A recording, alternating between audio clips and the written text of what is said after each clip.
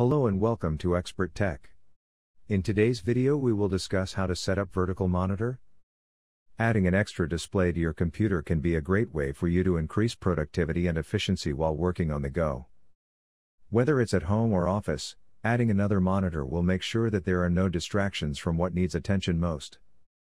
Integrated graphics on the motherboard and processor are capable of supporting up to three displays at once.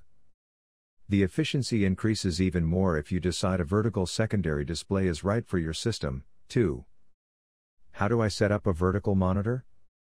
Setting up an extra display comes in two steps connecting the hardware to your computer and configuring it for use. Let's work through both of these, starting with ports connections. Connecting a vertical monitor display should be done in a similar fashion as other displays by using either VGA or DVI connections.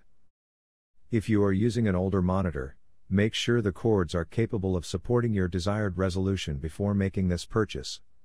It's also worth mentioning that if you do happen to have a display port on your computer, you can use this instead as well. When connecting multiple displays to one video card, try to limit how much space the cables have. If they are too stretched out, your monitor will not display an image or it may do so flicker intermittently.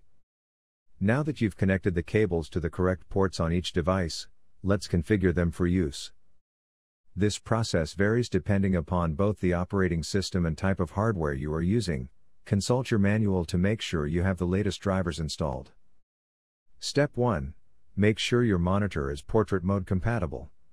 For more information on that, click here.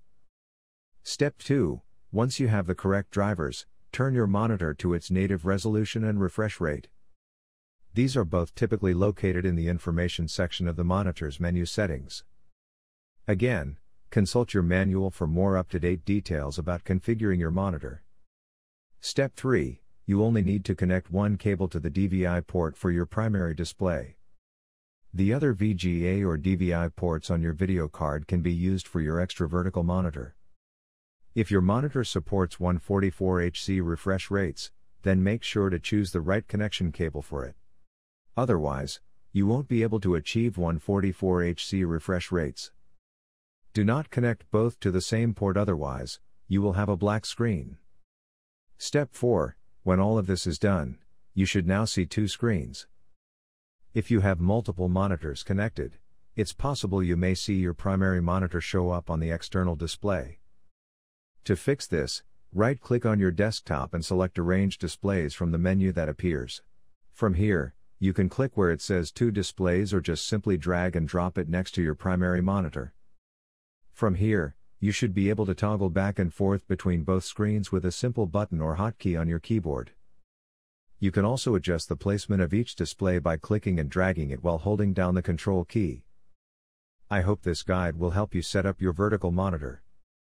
Pros for vertical monitor 1.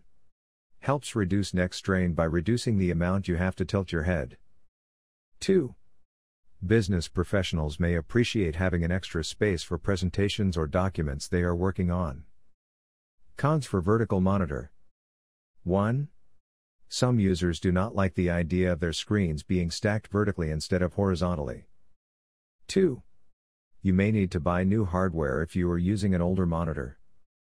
Conclusion Vertical secondary displays allow users to multitask without having a lot of clutter around them. For businesses, this can mean spending less time training new employees and more time creating an efficient working environment for everyone. In addition, when it comes to comfort, vertical monitors have been shown in several studies to help reduce neck strain from sitting in one position for long periods of time. A vertical display can be a great way for productivity, but only if you use it correctly. We hope this guide helps you understand how to set up your vertical monitor.